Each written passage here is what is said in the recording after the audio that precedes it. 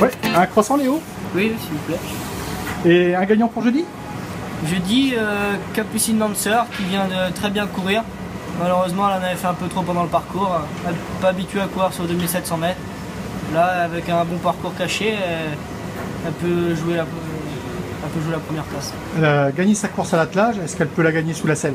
Ah oui, oui, parce que c'est une jument qui a jamais le morceau.